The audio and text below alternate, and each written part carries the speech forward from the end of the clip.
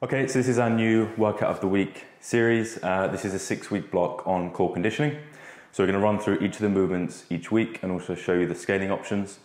A full workout is in the description below. Uh, this is the workout of the week series, but it's only a 10 minute core finisher. So if you want to do it more than once a week, you, you of course can. You could build up to two, even three times a week. Okay, so this is week one. Uh, nothing too complicated this week. We're going to start relatively straightforward with the, with the movements, and then they'll get progressively more difficult as we go over the six weeks. So, first workout is five rounds. You're going to do 20 hollow rocks, 20 prone arch raises, and 20 seated pike leg raises.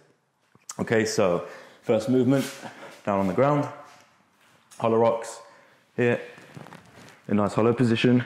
You're going to rock back and forth for 20 reps. If you need to scale, you tuck your knees up and you're going to do rocks like so. Okay, second movement